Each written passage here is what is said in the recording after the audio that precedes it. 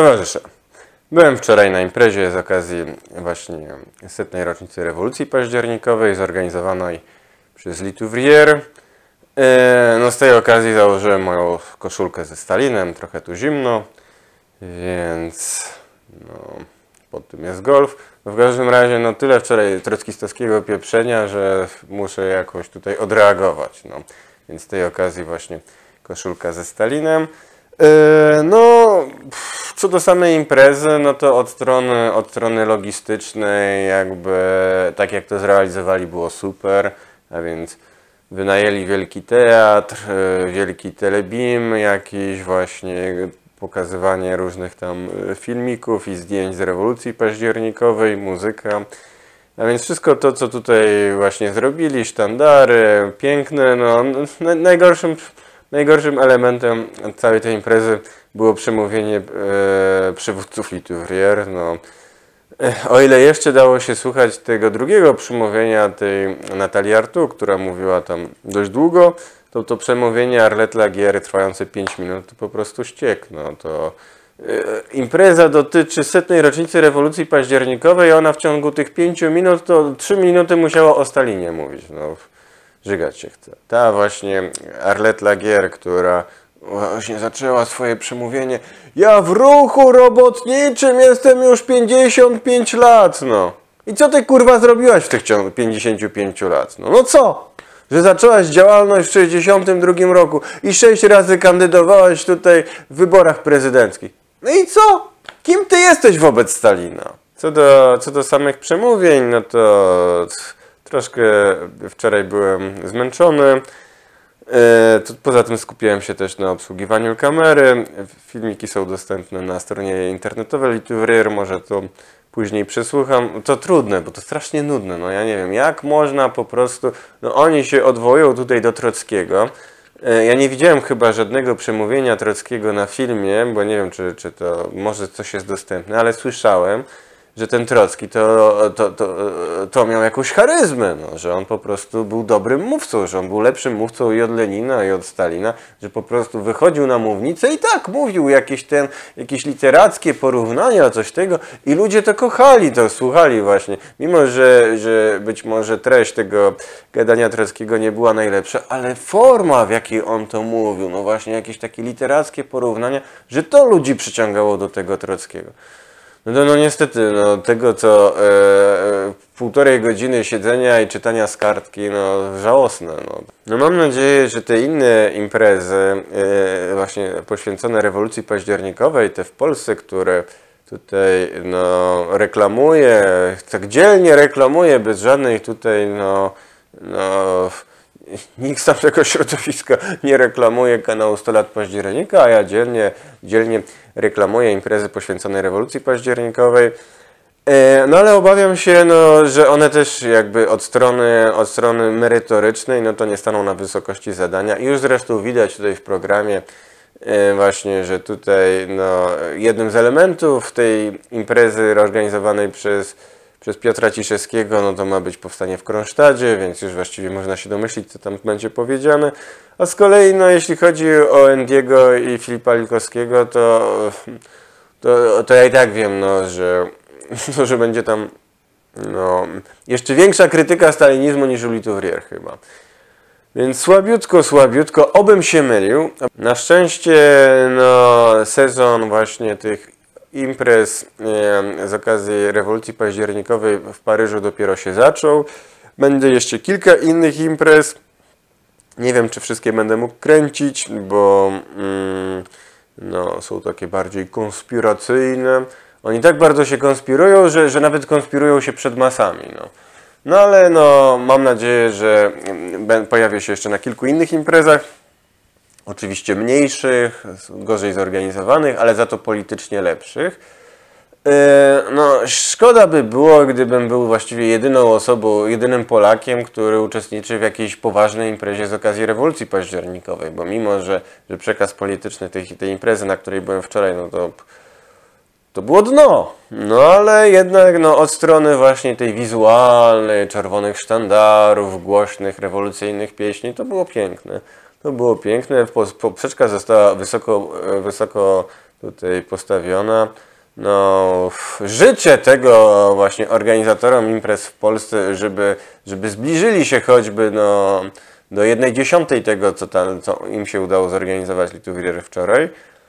E, no ale jestem realistą. No ale w każdym razie towarzyszę. No, macie tutaj, rzuciłem dwa filmiki. Ten drugi filmik taki nudny, że jest tam przejście się właśnie z kamerą po tym, no to patrzcie jak, jak właśnie taka impreza powinna być przygotowywana i przede wszystkim ten telebim, no. To nie trzeba nic robić, to wystarczy wielki, kurde, wielki ekran, wrzucać właśnie rewolucyjne filmiki i muzyka. I to już jest coś, co tak podgrzewa. No tam ja czekałem chyba za 40 minut, zanim to się rozpoczęło. E, no ale właśnie no, to był ten moment, kiedy było najciekawiej, no bo była właśnie, właśnie była piękna muzyka, a nie później jakieś trockicowskie ględzenia. No dobrze, towarzysze. Teraz już przechodzę do, do innego tematu, a tematem tego filmu będzie klasa robotnicza. No bo tutaj e, właśnie niejaki Jotazet, który od kilku dni no, stawia sobie za cel y, komentowanie każdego filmu, pozuje na takiego inteligenta, no to właśnie jakoś tam w dyskusji z nim wyszła, wyszła kwestia klasy robotniczej, no a ja później właśnie chciałem się z tego wycofać, no bo nie wycofać ze względu na to, że, że ja nie znam tematu, po prostu no uważam, że no no celem jakby, no celem no, no, no w międzynarodówce, ta druga zwrotka chyba, czy trzecia, yy, bo teraz mam właśnie w głowie tą francuską zwrotkę, no ale tam w każdym razie chodzi o to, że, no, że właśnie ta klasa robotnicza nie powinna czekać na zbawcę, że ona sama powinna się edukować. No więc ja właśnie, taki jest mój tutaj ten cel, że to nie chodzi o to, żeby kurde propaganda komunistyczna polegała na tym, że jest jeden kurde wyedukowany robotnik mieszkający pod Paryżem i on ma tutaj być taką prawdą objawioną i ja mam mówić wszystko. To mnie oczywiście bardzo pochlebia. Mi to pochlebia, no że właśnie no, towarzysz Jakub y, Łuchański, zapomniałem, no w każdym razie powiedział, że, e, który właśnie w tym ostatnim filmie, Łobiński chyba, e, powiedział, że mm, no jestem drugim Leninem czy coś. No mi to pochlebia, no, ale ja bym chciał właśnie być, być tym drugim Leninem, który posiada no, drugi komitet centralny partii bolszewickiej i wielu innych właśnie takich bolszewików wokół siebie, bo tylko wtedy E, tylko wtedy no, będziemy w stanie no, nie tylko mm, ideologicznie, ale i organizacyjnie przygotować się właśnie do obalenia tego kapitalizmu. Więc no, jeśli ja rzucam hasło do tego, żeby tutaj stworzyć właśnie no, naszą pracę, nasz wysiłek intelektualny pokierować w jakimś miejscu, a ja tutaj stawiam się jako właśnie taka wierchuszka i tylko mówię, ty robisz to, ty robisz to, to nie dlatego, że ja sam nie jestem w stanie tego powiedzieć. Jestem w stanie. No i tutaj właśnie było takie, takie, takie wyzwanie, więc ja na wyzwanie odpowiadam i o tym będzie ten film. No dobrze, towarzysze, więc tutaj ten filmik będzie poświęcony klasie robotniczej. I e, no tak jak ja to zarysowałem właśnie w tym e, wcześniej. Aha, ten towarzysz, o którym mówiłem, nazywa się Jakub Łubiński. Wielkie pozdrowienia tutaj dla towarzysza. Dobra, ale wracając do tematu. Więc, yy, yy, więc tak jak ja zarysowałem plan pracy właśnie dotyczący no, szerzenia pewnych tam pomysłów właśnie teoretycznych, no to zamierzam właśnie tutaj to wdrażać w życie, czyli no y, jeden temat może być wałkowany kilka razy, za każdym razem no jest, chodzi o to, żeby ten temat był no, potraktowany coraz lepiej. No tak, zresztą podobne tutaj, mm, podobnie do sprawy podchodził Marx, to znaczy, no, jeśli my spojrzymy na całą biografię Marksa od strony właśnie jego działalności, twórczości teoretycznej, to my widzimy, że on pewne koncepcje, no to już, już się narodziły w latach 40., no i właśnie no one czasami były ograniczone tylko do, do, do zwykłych tez czy tam e, teza, czy jakiś artykuł, czy jakaś krótka broszurka, czy coś takiego. W każdym razie, że ten Marx miał coś tam w głowie i on już doszedł do tych rzeczy właśnie jako tam dwudziestokilkuletni człowiek. E, ale e, usystematyzowanie całej tej teorii i wyłożenie w książce, to jemu to zajęło no, 20 lat pra, pracy intelektualnej. No więc tutaj no, nie chodzi o to, żeby ten filmik, czy następny, czy jeszcze następny, to on już dał odpowiedzi na wszystkie pytania. Tu raczej chodzi o to, żeby postawić pewne tezy, Yy, zachęcić ludzi do myślenia, do dyskusji, mnie samego, jakby jeśli w komentarzach zostanę skrytykowany i tak dalej, i tak dalej. No jakoś, no, no tak tutaj, mm, no, taki, taki ferwor intelektualny, taka burza mózgów, no to to jest coś, no, wiem na pewno, w którym to kierunku ma iść. A co dokładnie ma, jak, jak dokładnie ma wyglądać cel ostateczny? to, to zobaczymy. Więc, yy, więc tak, no. Po co, po co w ogóle ten film? Bo yy, no ja tutaj wielokrotnie podkreślam właśnie kwestię yy, klasy robotniczej. Więc sam tutaj epatuję tym, że jestem robotnikiem, yy, wywyższam się nad innymi działaczami i mówię, a wy nie jesteście robotnikami i tak dalej, i tak dalej. Więc tak. E, więc może zacznijmy jakby od kwestii, no, bo tutaj jest tak, no, pierwsza kwestia to jest kim jest robotnik, czym jest klasa robotnicza i tak dalej, i tak dalej. Więc yy, łatwiej to może tutaj odpowiedzieć na to pytanie, mówiąc, kim nie jest klasa robotnicza. Yy, no i, i tutaj no, najbardziej rozpowszechniona teza właśnie wśród tych środowiskach antystalinowskich no to jest no, taka prymitywna teza na zasadzie takiej, no, że, że, yy, no, że dzisiejsze społeczeństwo, no to następuje tutaj polaryzacja bogactwa. No, z jednej strony właśnie jest no, ogromne bogactwo skupione e, tam wśród kilku jakichś tam najbogatszych klanów, że tam chyba 8 czy 10 naj, najbogatszych to ma tyle bogactwa, co tam ileś, ileś milionów ludzi, czy miliardów i tak dalej, i tak dalej. Co jakiś czas właśnie mm, pojawiają się różne takie dane statystyczne, ekonomiczne, które pokazują pewną tendencję istniejącą no, w kapitalizmie e, od lat kilkudziesięciu przynajmniej, tak mniej więcej od lat 60., 70 pokrywa się to między innymi ze śmiercią Stalina i jakby z utratą dynamiki przez, przez ten blok wschodni. No, że, no że, że rosną te dysproporcje majątkowe, a więc z jednej strony jest tam grupa najbogatszych, którzy są coraz bogatsi, no i ich majątek jest no, coraz, coraz większy, coraz większa jest ta różnica między nimi, a tym, co posiadają, a co posiadają właśnie reszta społeczeństwa. E, no i nachodzi e, w przypadku, w przypadku Europy Zachodniej, tutaj dochodzi także do procesu ubożenia, ubożenia e, mas pracujących, to znaczy no, poziom, poziom zarobków, jakiejś tam realnej pensji, tego co można kupić właśnie za pensję swoją i tak dalej, i tak dalej, no to on spada. On, on spada, no przynajmniej tutaj od upadku Związku Radzieckiego można tutaj zaobserwować taką tendencję, no, że po prostu no, robotnik w Europie Zachodniej, przynajmniej we Francji, no, z każdym rokiem jest coraz biedniejszy. On tego może nie odczuwać bezpośrednio, patrząc na swoją pensję, e, no bo tutaj dochodzi do takiego triku, no, że po prostu no, nie, nie obniża się pensji, ale za to obniża się wartość tego, co on za tą pensję może kupić. A więc, no, więc wprowadzone są różne podatki takie dotyczące właśnie ubogich.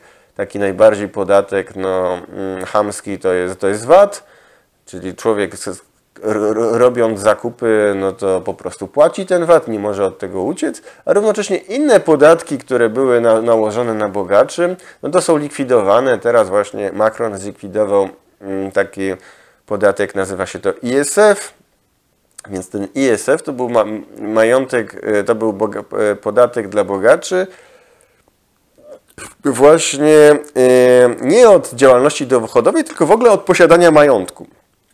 Więc była kiedyś wcześniej taka dobra tradycja, że po prostu bogacz, jak ma majątek, to tam co roku musi zapłacić jakąś część właśnie no, taki podatek od luksusu. No, no to, to, to, to Macron skasował. No, uznał, że, że jest to niesprawiedliwe karanie bogatych. No.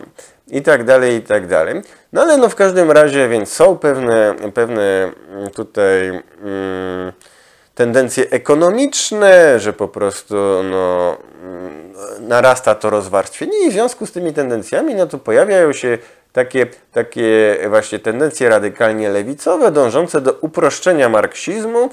I, i, i one mówią, no, że właściwie tutaj to nie chodzi o walkę klas, tradycyjnie rozumianą przez Marksa, tylko o to, żeby te 99% społeczeństwa no to e, pokonało, przegłosowało, czy coś tam, no, no, no ten 1%.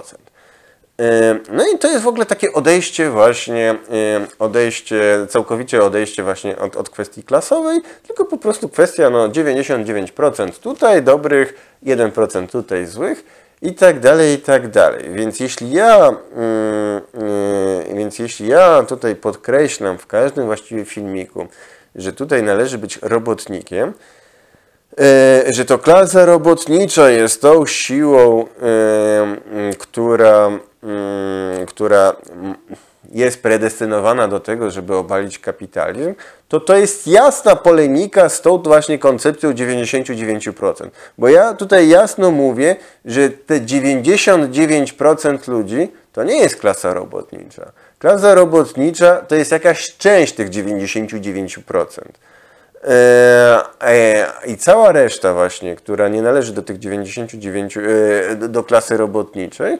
No w każdym razie, ja przepraszam towarzysze, że ten wykład może nie jest aż taki spójny, jak zazwyczaj staram się robić. No to jest jednak tematyka troszkę, może nie tyle mi obca, ale jednak no, ja zawsze podchodziłem, no, no nie mam akurat doświadczenia w, w, w wypowiadaniu się na ten temat. Co nie znaczy, że jakby no w toku jakby tego filmiku, dyskusji, czytania, przygotowywania się do kolejnych właśnie komentarzy, odpowiedzi itd., tak itd., tak no to cel jest taki, żeby tutaj to usystematyzować i następny jakby raz, następnym razem, kiedy będę się na ten temat wypowiadał, no to postaram się to przedstawić składnie.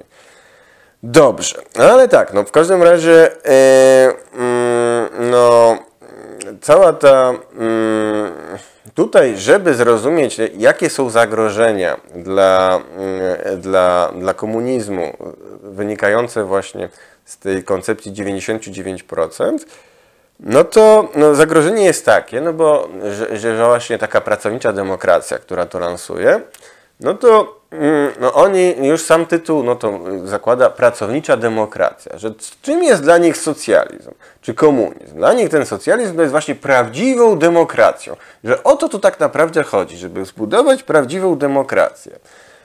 E, no i w związku z tym, no to oni właśnie mówią, że jeśli celem jest budowanie e, prawdziwej demokracji, no to, no to analiza ekonomiczna, że, że większość świata jest biedna, a niewielka mniejszość jest bogata, no to tutaj wystarczy, że ich przegłosujemy, jakby jest po sprawie.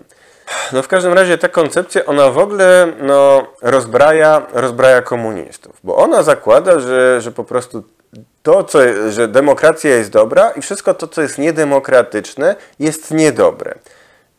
No więc no, sam proces rewolucji, no, tak jak on był robiony w rewolucji październikowej, był no, jakby w związku z tym niedemokratyczny. No bo no, to, co się stało w Rosji, no to to było po prostu budowanie dyktatury proletariatu. Dyktatury jednej klasy w celu uciskania innej klasy żeby zbudować nowe społeczeństwo. Ale to nie była demokracja, to była dyktatura, dyktatura jednej klasy i robiono to metodami dyktatorskimi. Yy, więc no, pracownicza demokracja yy, jakby no, tutaj zakłamuje, zakłamuje przeszłość. Oni raczej sta, starają się przedstawić, że rewolucja październikowa to był jakiś tam jakiś yy, no właśnie akt pokojowy, akt pokojowy, że po prostu rady robotnicze w sposób demokratyczny, bezkrwawy przejęły władzę z rąk właśnie tam rządu tymczasowego i tak została wprowadzona prawdziwa demokracja, a później przyszedł zły, totalitarny dyktator Stalin i on zakończył tą prawdziwą demokrację i wprowadził dyktaturę i to już jakby no koniec, koniec no właściwie. Mm, więc no, cały ten proces później przekształcania e, Rosji właśnie w kierunku Związku Radzieckiego, tworzenia e, jakby społeczeństwa socjalistycznego w, e, w, latach 30. i później, no to ich już jakby, no klifowców to już w ogóle nie interesuje, no bo to jest niedemokratyczne. To jest niedemokratyczne. Ich interesuje właśnie tylko właśnie, nie wiem, tam pierwsze, pierwsze tygodnie tej rewolucji, kiedy, kiedy jeszcze nie wybuchła nawet wojna domowa, bo wtedy to jeszcze było demokratyczne tu jest konieczna jakby e, e, to, to takie stawianie na demokrację, no to, no to jest pewne takie mentalne uzależnienie, no bo oni no, koniecznie, no demokracja, no, żeby miała sens, no to ona zakłada, że trzeba zdobyć poparcie większości społeczeństwa. Więc, yy, więc no oni już jakby chcą tutaj podbudować się ideologicznie, mówią, no, no właściwie większość jest za nami. Większość nas popiera, więc dlatego my tutaj mamy, no jest jakiś sens naszego działania. Chodzi o to, żeby no, kiedy toczą się jakieś dyskusje, jakieś tam środowisk socjaldemokratycznych, czy nawet antykomunistycznych, jakichś środowisk antykomunistycznych, właśnie takich społeczeństw obywatelskich, gdzie oni tam cały czas pierdolą o tej demokracji, demokracji, no to cel jakby jest taki, no żeby marksiści, ci tacy no, pseudomarksiści, ci od Endiego mogli tam wejść i powiedzieć, a my też jesteśmy za demokracją, my jesteśmy za prawdziwą demokracją, my jesteśmy za tym, żeby to większość decydowała. No, yy, no więc, yy, no i ja się z tym całkowicie nie zgadzam. E, ja się z tym jakby, to mi, mi uznanie ze strony burżuazyjnych propagandystów, mi jest ono do niczego niepotrzebne. Jeśli od czasu do czasu jakiś tam, jakiś burżuj się ze mną zgodzi, to niech się zgadza, okej, okay. ale ja nie będę do niego chodził i ja nie będę się mu podlizywał i będę mówił, proszę, proszę, tylko, tylko powiedz, że ja jestem, że jestem dobrym człowiekiem, że ja jestem demokratyczny. Nie, mam go w dupie, no. Jeśli, on, jeśli jemu się podoba to, co robię, okej, okay, no. Ale y, to, kiedy, no, jeśli my prześledzimy tutaj, no nie wiem, doświadczenia rewolucji październikowej, to my widzimy, że w czasie tej rewolucji październikowej klasa robotnicza to była mniejszość społeczeństwa. Zdecydowana mniejszość społeczeństwa. To było kilka procent społeczeństwa rosyjskiego. I co z tego? Więc jakby od strony, od strony całego tego pierdolenia o demokracji, no to, to w ogóle to jest jakiś pucz. To jest jakiś pucz robotniczy. Jak ci robotnicy będący mniejszością społeczeństwa, jak oni w ogóle śmieli wziąć władzę? No. A dla mnie to nie jest problem. Dla mnie to nie jest problem, że kilka procent społeczeństwa yy, właśnie tworzącego, na których opiera się, opiera się produkcja, że oni po prostu biorą władzę. Więc pierwsza jakby tutaj rzecz, którą chciałbym towarzyszy, żebyście zapamiętali, to zapamiętajcie, klasa robotnicza nie jest większością społeczeństwa. Nie jesteśmy większością, jesteśmy mniejszością. Druga rzecz, towarzysze, jaką chciałbym, żebyście zapamiętali, to klasa robotnicza to nie jest ta klasa najbardziej wyzyskiwana w kapitalizmie. Najbardziej, najbardziej taka no, upodlona i tak dalej, i tak dalej.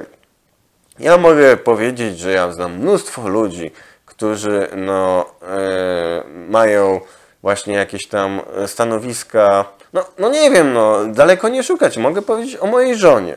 Nie będę tutaj się wdawał w szczegóły, ale mogę powiedzieć, no, że i ja, i moja żona jesteśmy Polakami. No, nie wiem jak długo jeszcze, no ale póki co jesteśmy Polakami, mieszkamy we Francji.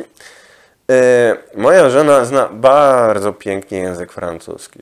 Nie dość, że ona zna pięknie język francuski, to ona zna jeszcze język angielski. No. E, więc wydawałoby się, no cała ta taka propaganda właśnie, mm, no, czy w Polsce, czy, czy gdzie indziej, ona mówi, no bo to jak ktoś tak pięknie mówi po właśnie tym, tym języku, zna języki obce, to na pewno jest to, jest to mm, no, gwarancja znalezienia dobrej pracy i, i dostatniego życia.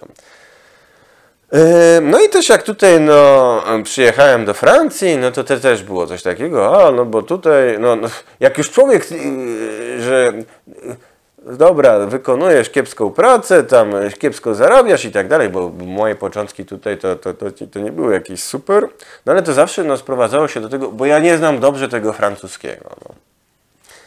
No ale no jakby paradoks jest taki, no, że ja pracuję w, w dużym zakładzie pracy, yy, w którym są jeszcze resztki no, yy, działalności związkowej, tych starych układów wywalczonych no, no, w czasie II wojny światowej. To, tutaj to jest bezpośrednia kontynuacja E, jakby, no ja nie będę przedstawiał całej historii tutaj tak, no ale tutaj no jest, jest pewna tradycja walki robotniczej, która miała miejsce we Francji i w tych dużych zakładach pracy tam cały czas są pewne no, zdobycze, e, są cały czas pewne zdobycze właśnie społeczne, których nie ma cała ta nowa gospodarka.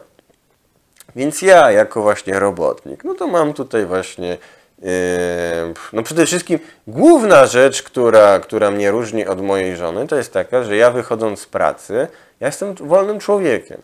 Ja jestem wolnym człowiekiem, ja mogę sobie włączyć kamerę, gadać o marksizmie i tak dalej, i tak.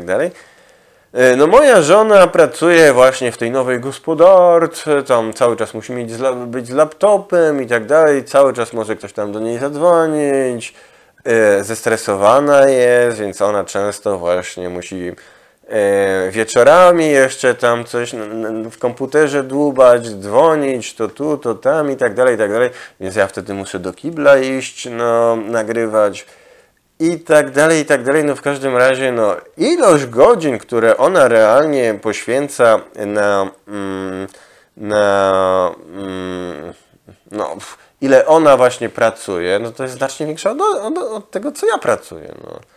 Może, e, oczywiście, ja się mogę po, e, tak usprawiedliwiać, no ale ja tutaj pracuję w chłodzie, my tutaj, mm, no, nasza robota jest ciężka i tak dalej, i tak dalej. E, no ale no, od, strony, od strony godzin przepracowanych, no to ci, te wszystkie osoby pracujące, nie wiem czy wszystkie, no ja, ja nie znam aż tak dużo osób, no, ale znam troszkę osób pracujące no właśnie na komputerze i mogę powiedzieć, no, że no, ilość godzin, które oni poświęcają tej pracy jest znacznie większa od tego, od prac, które jako wykonywałem we Francji. No. Ja, e, więc ja właśnie, czy teraz w tej chłodni, czy wcześniej jak usuwałem azbest. Jak usuwałem azbest, to ja w ogóle prawie nie pracowałem. Ja pracowałem 6 godzin dziennie. No. To było dwie godziny pracy w masce, później pół godziny przerwy, dwie godziny pracy w masce, pół godziny przerwy, dwie godziny pracy w masce i nara. Więc realnie przepracowałem 6 godzin z tymi dwoma przerwami półgodzinnymi. Czasami to się tak dogadywaliśmy, że robiliśmy 3 godziny, przerwa, 3 godziny i nara. Więc no naprawdę, no ja yy, zaczynałem o 8, 14.30 już, już koniec pracy i reszta dnia jest dla mnie. No. A jak widzę właśnie, no, że no, a ta szefowa, ta szefowa y, mojej żony, to już w ogóle jest pierdolnięta. No, znaczy, nie, nie chcę tutaj o żonie mówić, no, ale ona to po prostu i, i w weekendy, i, i, i kurde tam, no, tu łatwo sprawdzić, bo tam jest jakiś program, który widzi, kto się kiedyś zalogował na jakiś tam program no i ona tam jest cały czas zalogowana. Kiedy tam człowiek nie wejdzie, ona tam jest. Nawet na urlop wyjechała i, i kurde wyjechała z Francji i się loguje, kurde, i coś tam cały czas poprawia. Więc no, yy, więc, yy, no i bardzo często właśnie, jak, jak żona mnie podsłuchuje, no to ona mi mówi, właśnie przestań o tych robotnikach mówić, ja jestem znacznie bardziej, mi jest znacznie gorzej niż tobie, no. I tutaj właśnie taka licytacja, komu jest gorzej i tak dalej, i tak dalej. Ja nie twierdzę, że nie. Bo już jakby no to, co najważniejsze jest, no, co świadczy o tym, no, komu jest gorzej, to jest wypłata. No. Moja wypłata nie jest jakaś duża, no ale, ale jest większa od wypłaty mojej żony. No. Dlatego właśnie, bo pracuję w dużym zakładzie pracy, w którym kiedyś tam istniały silne związki zawodowe i w którym pewne rzeczy zostały wywalczone. Yy, i, I cały czas, i my cały czas, mimo że już ten właściwie wszystkie te związki zawodowe, które tam są, to są skorumpowane, no, słabe i tak dalej, i tak dalej. Ale mimo to, no my, możliwości, jakie my tam mamy, są ogromne. To jest po prostu. Yy, no i tutaj właśnie wrócę może właśnie do, do towarzysza Jakuba Łubińskiego, którego pozdrawiam oczywiście. Yy, więc ten towarzysz Jakub Łubiński, no to właśnie nagrał taki filmik, który złożył się z dwóch części. Pierwsza część, no całkowicie się pod nią podpisuje, dotycząca rewolucji październikowej. Jeszcze tutaj e, piękne słowa pod moim adresem. No ale nie, niestety drugie, e, e, reszta, reszta tego, co towarzysz Jakub Łubiński zaproponował, no to już mi się tak bardzo nie podobało. No to też, no, ja nie chcę tutaj specjalnie krytykować, no bo jakby nie, nie o to tu chodzi, no. Zwłaszcza, że jest rewo rocznica rewolucji październikowej. Tutaj raczej widać wpływ no, pewnych, e, no, pewnej słabości e, polskiego środowiska komunistycznego, że po prostu no, e, no tutaj no, w Paryżu no, jednak no, jest ileś różnych organizacji odwołujących się do, do tradycji komunistycznej.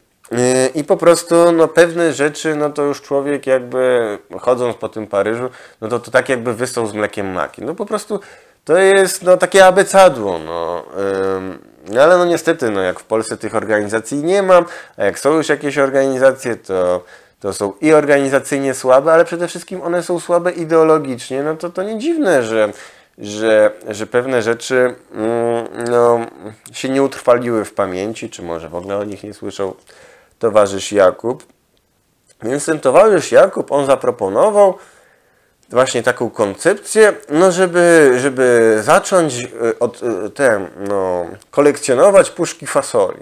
Że my będziemy dzisiaj już zaczniemy kolekcjonować puszki fasoli i kiedy dojdzie do rewolucji, i nie, że wcześniej nastąpi głód, że dojdzie do jakiejś wojny, później nastąpi głód i my wtedy mając te właśnie puszki fasoli, no to, mm, no to, to my no, będziemy w stanie tymi, tą fasolą przekupić robotników i oni za nami pójdą.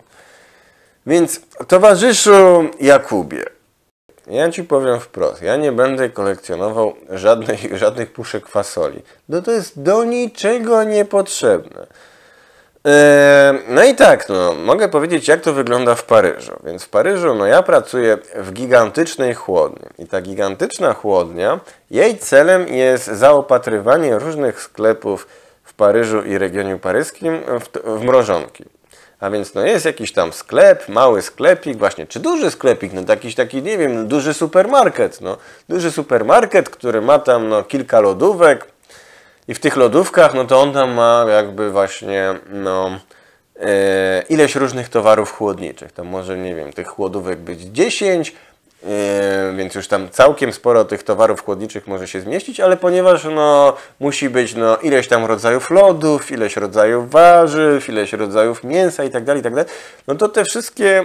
Mm, te wszystkie e, no, towary chłodnicze, no one nie mogą być tam magazynowane, więc one są magazynowane poza Paryżem, właśnie w takich miejscach jak, moje chłodnie, jak moja chłodnia, która oczywiście nie jest jedyna, jest kilka innych takich chłodni e, wokół Paryża, które zaopatrują właśnie e, ten region paryski e, w jedzenie. No są też inne magazyny, wielkie magazyny, które właśnie zaopatrują Paryż właśnie w w produkty jakieś tam, nie wiem, warzywa, owoce, jest taki wielki targ międzynarodowy, Rangis się nazywa i tak dalej, i tak dalej.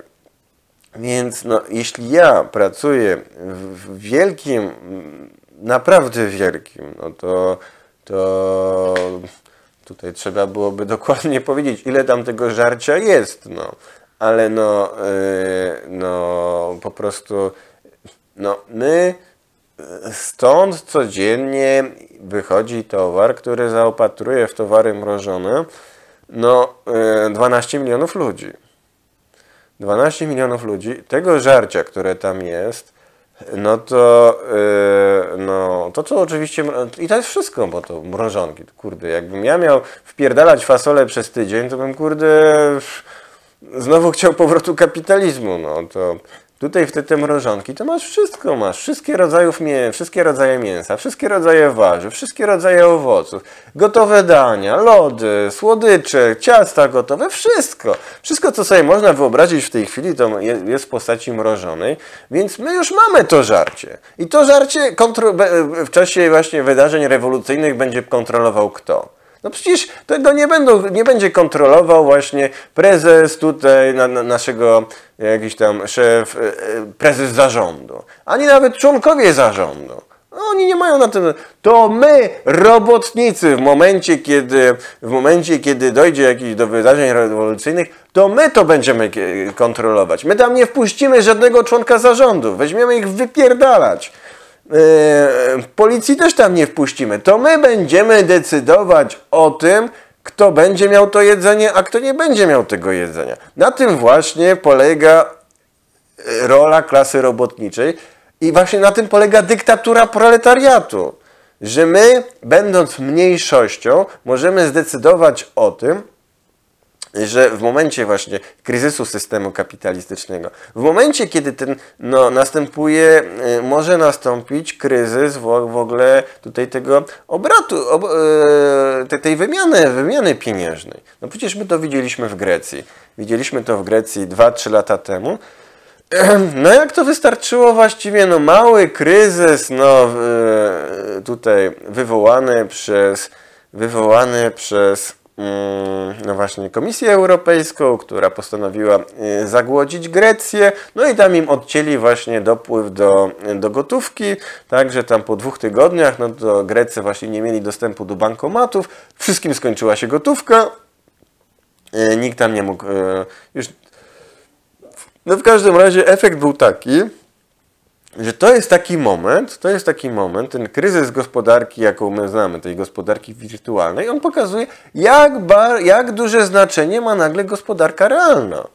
I, i, i, i, właśnie w takim momencie, no, wyobraźmy sobie, no, że, że jest meeting. I jest meeting i, i, i nawet jeśli byśmy właśnie politykę i walkę o władzę sprowadzili nie do tutaj kwestii walki programowej, że ja właśnie tutaj wyjdę na mównicę i powiem, niech żyje socjalizm, a przeciwko mnie byłby taki Petro. I on by powiedział, nie, niech żyje, niech żyje kapitalizm.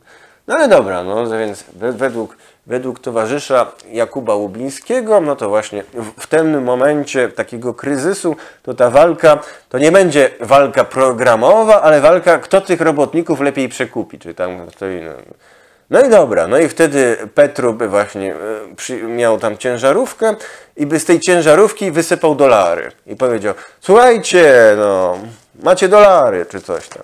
No i wtedy bym, ej kurwa, ty człowiek, ale to nie ma w tej chwili żadnej wartości. Te twoje pieniążki nie mają żadnej wartości.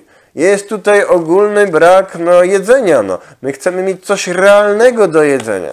Więc on tutaj daje ten i mówi, ty Petrus, czy ja nakarmię dzieci twoimi papierkami? Nie, nie nakarmię. No i wtedy przyjeżdżają robotnicy ode mnie, my tutaj otwieramy nasze ciężarówki chłodnicze, no i dajemy im żarcie. I mówię, dajcie dzieciom nasze jedzenie. No, no.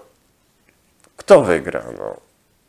W każdym razie, no ja tutaj nie chcę się skupiać specjalnie na tej, na tej mojej chłodni, no bo w końcu, no Tutaj żadna jakaś wielka walka póki co tej, w tej chłodni się nie zaczęła. Ja tylko widzę, no, no, że jeśli, jeśli ta burżuazja francuska uznała, no, że jednak warto nas troszkę przekupić, warto tutaj dać premię za to, premię za tamto, no, żeby no, jednak no, troszkę tutaj no, taki robotnik już pracujący w takich ciężkich warunkach, no i przede wszystkim jesteśmy skoncentrowani. To jest ważna rzecz że my, no, że ludzie, e, że, że ludzie wykonujący pewną pracę razem, kilkaset osób na jednej powierzchni, jakby wszyscy, w dodatku, no, my wszyscy nosimy te kombinezony, więc no, to już pokazuje no, taki mundur, no, że po prostu jesteśmy, jesteśmy taką jednością, jesteśmy jak w armii, no tam po prostu, to nie tak, że e, każdy wejdzie do biura i się wystroi jak chce.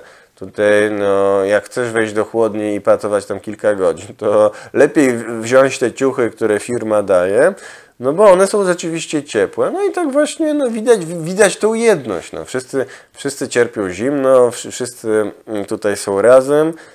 E, więc my właśnie jako, jako tutaj ten podmiot skoncentrowany, to jest siła. My możemy znacznie więcej zrobić niż właśnie rozproszone jakieś tam osoby, rozproszone osoby pracujące w tej gospodarce wirtualnej, tutaj no właśnie, no ja pamiętam jak właśnie moja żona dostała propozycję pracy z domu, więc ona tutaj no, kilka dni w tygodniu już nie musi jeździć do biura, ona może tą pracę wykonywać w domu. No. Więc ma to swoje plusy, oczywiście takie, że może dłużej spać ode mnie, że, mm, no, że też unika tych wszystkich korków, no nie ma tej bezpośredniej kontroli szefa, to sobie może, może się troszkę poopieprzać, tu tam, nie wiem, sobie na internecie posiedzi, tu telewizję poogląda, tu coś tam, jeszcze może od czasu do czasu wyjść z domu, szybko coś załatwić na pocztę i tak dalej. Ma to swoje plusy, no ale podstawowy minus jest taki, no, że jeśli ludzie są rozproszeni, to ich możliwości ewentualnej walki no, są słabiutkie. Są słabiutkie. Więc no póki co, ja nie wiem, ja może się mylę, no. Ja może się mylę, być może kiedyś w przyszłości dojdzie do jakiegoś ruchu, takiego ruchu pracowniczego, który byłby w stanie zorganizować tych wszystkich ludzi rozproszonych pracujących na laptopach. Być może się mylę, no ja po prostu e, od, odwołuję się do tej takiej tradycyjnej koncepcji marksistowskiej, który właśnie ten Marx, widząc tych no, robotników skoncentrowanych w jednej fabryce, a więc widział po pierwsze, że oni tworzą wartość, yy, tworzą realny towar, po drugie w każdej chwili mogą tą fabrykę zatrzymać, yy, no i są siłą, no bo są razem. No. Warto tutaj yy, jeszcze powiedzieć, że od czasów Marksa y, pewne rzeczy się zmieniły. I przez to, że one się zmieniły, to dzisiaj trudno, trudniej nam, nam je zrozumieć. Więc weźmy na przykład kwestię e, zawodu takiego jak, jak, jak lekarza. Jak lekarze, no jest to ważne, no, ponieważ tam od jakiegoś czasu w Polsce toczy się strajk lekarzy, e, czy jakiś tam właśnie rezydentów medycznych, nie wiem dokładnie czym to się różni od lekarza, no w każdym razie jest strajk tej grupy zawodowej. Yy, więc no, tak jak śledzę właśnie na internecie różne fakty, no to wydawałoby się, no, że o, ten strajk ma wielką dynamikę, to jest właśnie ta droga, którą należy iść i tak dalej, i tak dalej. No, no mnie, mi, mi to nie imponuje. Mi to nie imponuje, to nie jest w ogóle ta grupa, która mnie interesuje. Yy, no i tutaj może cofnę się do XIX wieku, do czasów, kiedy no, nie istniała powszechna służba zdrowia. Nie istniała, po prostu było e, lekarz, to był pewien zawód uprzywilejowany, mm, nie każdy miał dostęp do lekarza, więc do lekarza oczywiście miał dostęp burżuj, jego rodzina, klasy uprzywilejowane.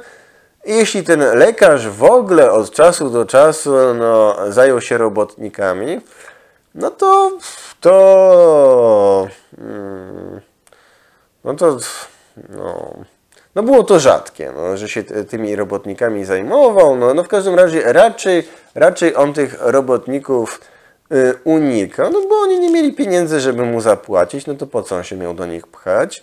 No efekt był taki, no, że ta śmiertelność wśród klasy, labor, e, wśród klasy robotniczej y, była bardzo duża.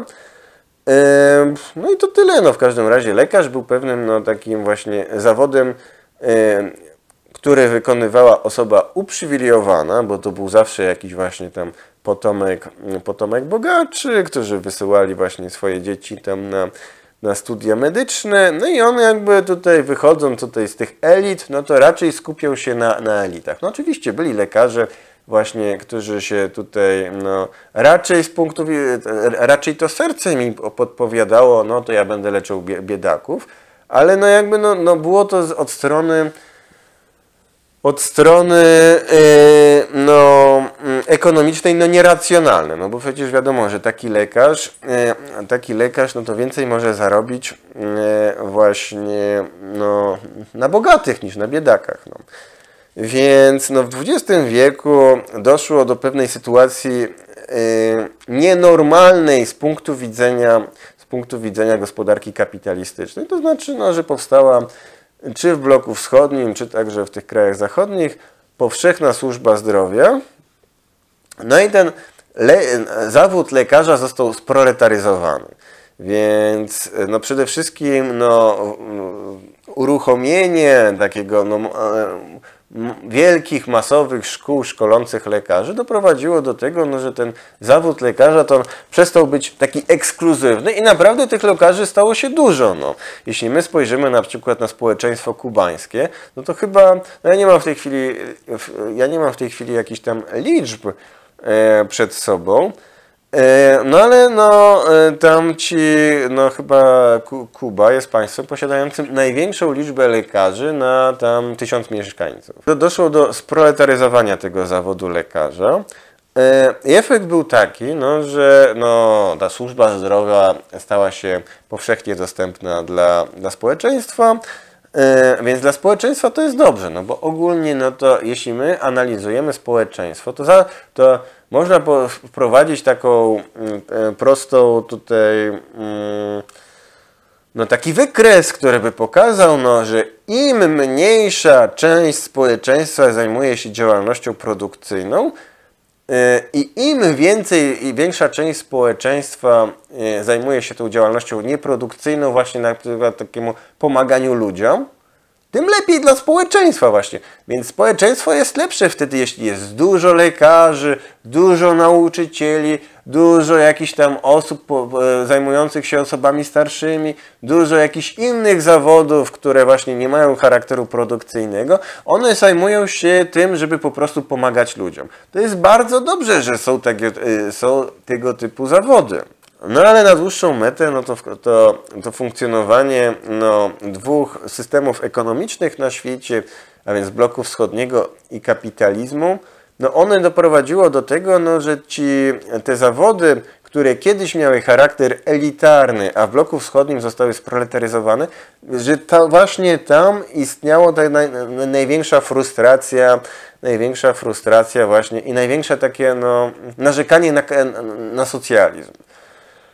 E, więc tutaj e, pamiętam taki film z dzieciństwa, który obejrzałem chyba kilkanaście razy z Cezarem Pazurą, nic śmiesznego.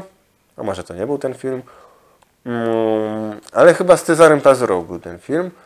E, no i tam jest taka scena, że on tam właśnie idzie do dentysty. Film już się chyba toczy w latach 90., ale cały czas tam widać pewien relikt właśnie PRL-u. Więc, więc bohater tego filmu idzie, idzie do, e, do dentysty. Tamtą dentystkę grała chyba Bożena Dykiel. No i on tam mówi, że ma, nie wiem, duże zęby. No a ta właśnie tam mu chyba zęby wycięła, czy coś tam. No w każdym razie, no to był taki schyłkowy etap właśnie tej takiej państwowej służby zdrowia, gdzie no dentystka, dentysta czy dentystka to było coś, no, to powszechnie dostępnego, powszechnie dostępnego dla społeczeństwa.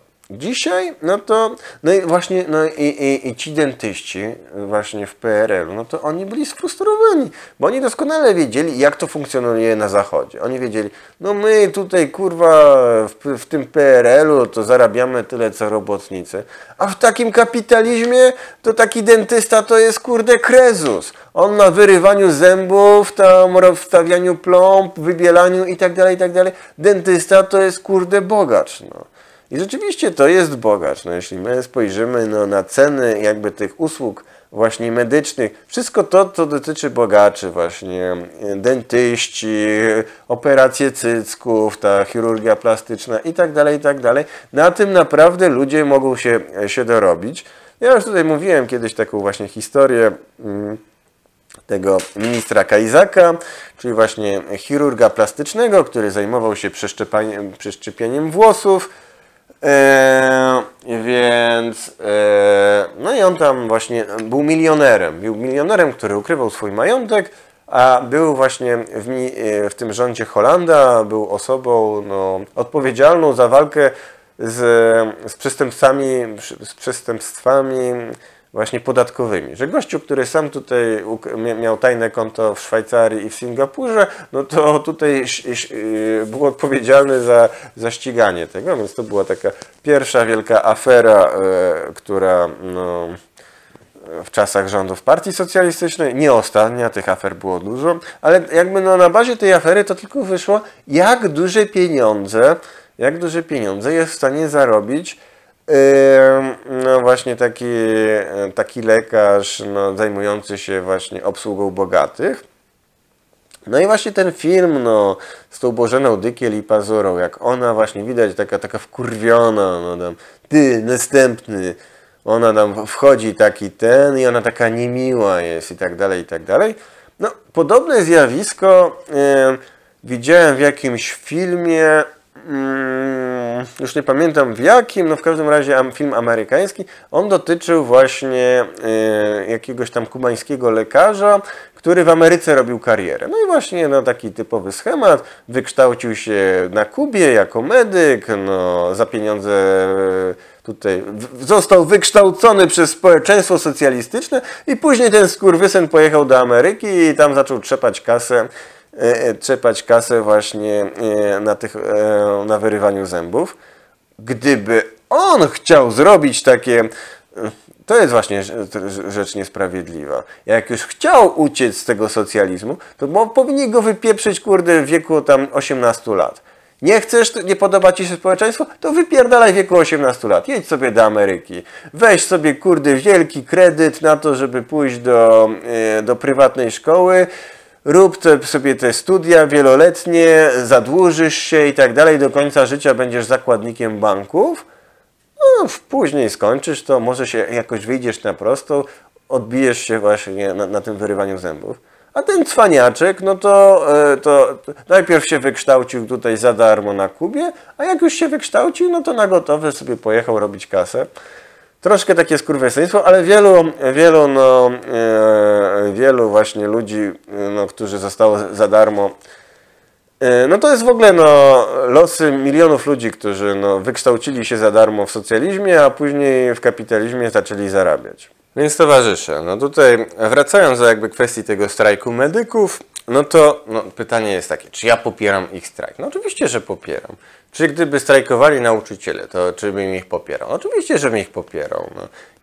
Każdej grupy zawodowej, która walczy i strajkuje, ja ich wszystkich popieram. No. Ja po prostu jestem realistą i widzę, no, że yy, no, to, że na przykład nauczyciele strajkują, to burżuazji nie obchodzi. No.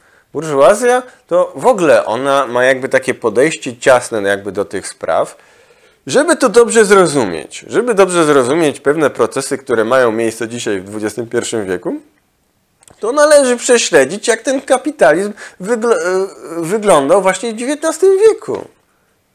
Wtedy zrozumiecie, no, że, że walka takich lekarzy, czy, czy, czy nauczycieli, czy coś, to w żaden sposób kapitalizmu nie rusza. No. No bo nawet tacy nauczyciele, którzy tam pracują w szkołach podstawowych, właśnie w jakichś dzielnicach dla ubogich i coś tam, i oni powiedzą, to my zastrajkujemy. E, no i, i, i zastrajkują, no i te biedne dzieci nie będą miały dostępu do edukacji. No i, i burżowie mówią, to dobrze. A po co, a po co oni mają się wykształcić? Wykształceni, wykształceni biedacy to jest jakiś relikt komunizmu. To w PRL-u tam tworzono te tysiąc szkół i tak dalej, tak? a nam to niepotrzebne. Niech on umie tam pisać, czytać i to tyle. No. Niech jeszcze trochę o wyklętych się może dowie. A tak, czy nam do czegoś jest wykształcony no, jakiś tam no, nasz przyszły niewolnik? Nie, no więc, więc no właśnie tutaj jest ileś właśnie tych takich grup społecznych, które no, mm, no w każdym razie no w XIX wieku no edukacja była zarezerwowana dla bogatych, ta, ta taka poważna edukacja.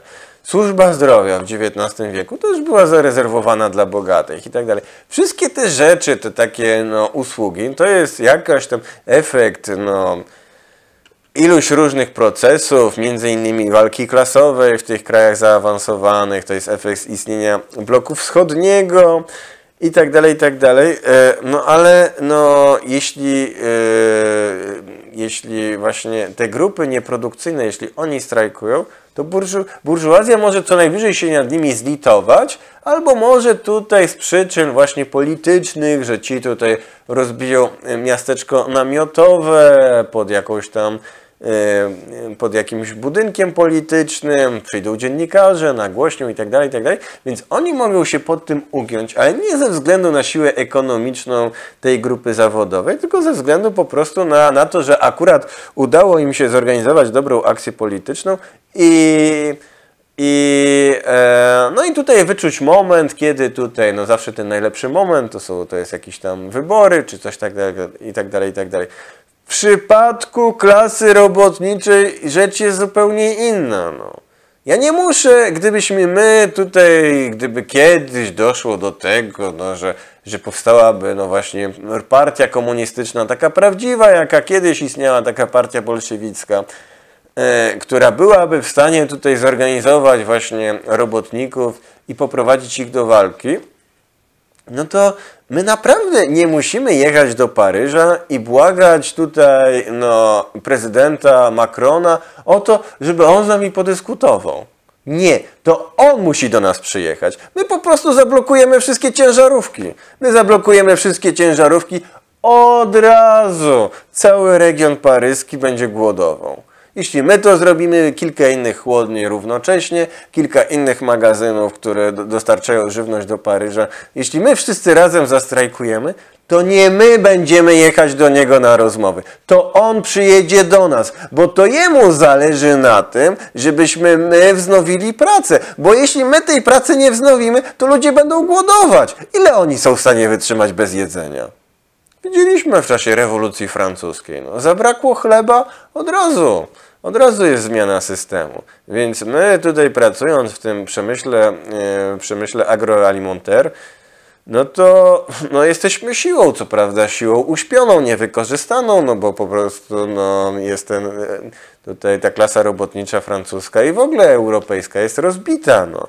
Ale tutaj jest gigantyczny potencjał i tego potencjału i to, i to, że cały czas mamy tam jakby troszkę takich przywilejów, których nie mają e, na inne grupy. No. Wszyscy ci młodzi, no. im ktoś jest młodszy, im później wchodzi na ten rynek pracy, tym warunki, które jemu są w tej chwili zaproponowane, no, są coraz gorsze. No. Przede wszystkim no, znika w ogóle coś takiego jak umowa o pracę na czas nieokreślony. W tej chwili no to um, główna forma zatrudnienia to albo przez agencję właśnie pracy tymczasowej, albo na jakąś tam właśnie umowę śmieciową, jakiś krótki kontrakt. Ja już nie wiem ile ja mówię, no obawiam się, że ten filmik będzie strasznie długi, więc, ale jeszcze poruszę kilka kwestii.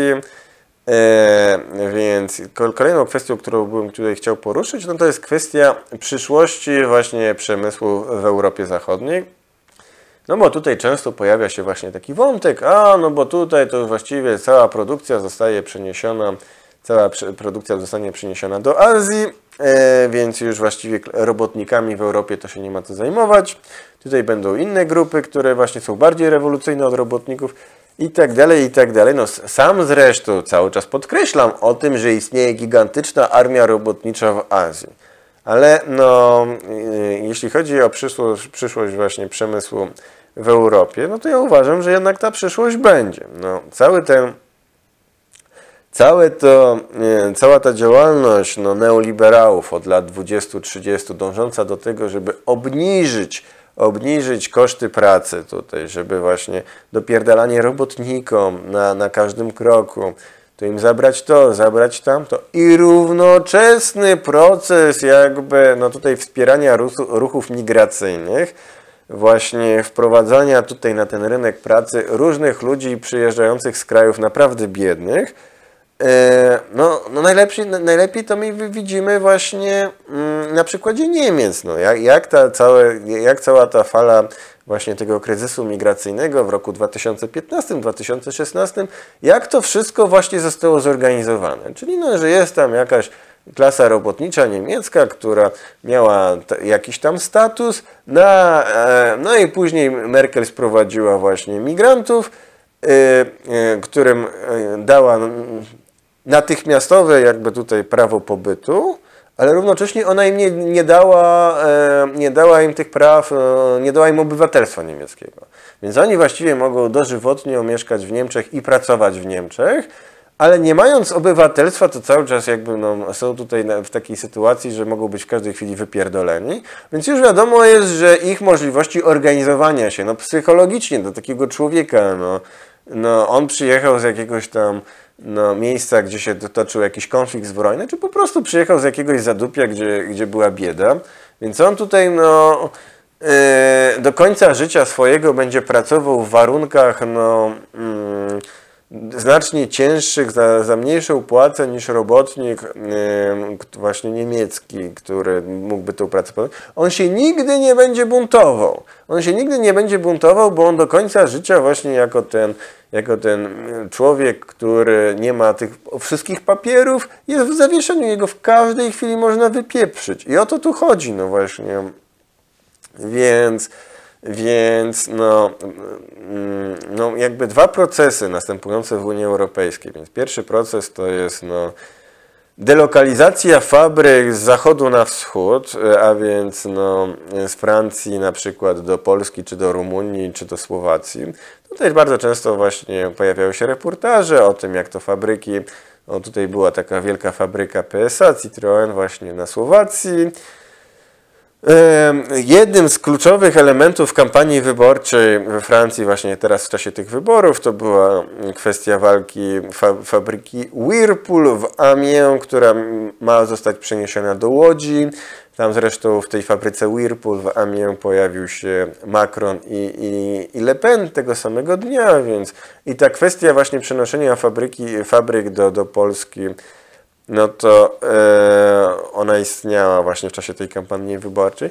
No w każdym razie, no mm, w ramach no, Unia Europejska, mając równocześnie no, z jednej strony tutaj dostęp do, do taniej siły roboczej w krajach Europy Wschodniej, z drugiej strony dostęp, właściwie nieograniczony dostęp do migrantów, do migrantów no, z Afryki i z Bliskiego Wschodu, którzy tutaj mogą wchodzić i zastępować no, no, roszczeniowych europejskich robotników, e, no efekt jest taki, no, że te koszty pracy, że gospodarka europejska staje się konkurencyjna na przykład z gospodarką chińską.